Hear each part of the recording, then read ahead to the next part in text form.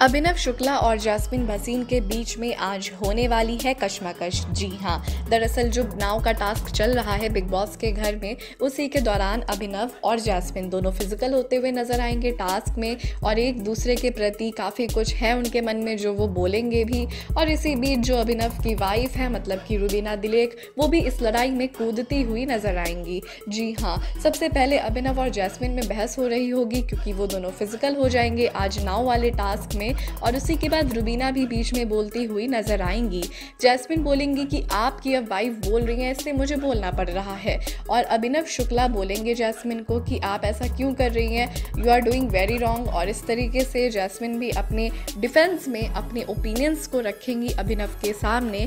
और इस तरीके से रुबीना भी इसमें बीच में आकर ये बोलेंगी कि जैस्मिन अब जो है वो दिखा रही है और वो इसलिए लॉस्ट लग रही है because this is who she is और इस तरीके से आज अभिनव और जैस्मिन में भी लड़ाई होते हुए दिखेगी, जो कि पहले काफ़ी अच्छे दोस्त भी एक समय पे थे।